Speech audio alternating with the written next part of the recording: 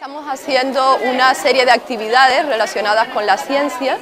Eh, tenemos actividades eh, de robótica que presenta el Departamento de Tecnología. Luego tenemos también una pirámide holográfica del Departamento de Matemáticas y varios experimentos científicos de eh, química y también de biología.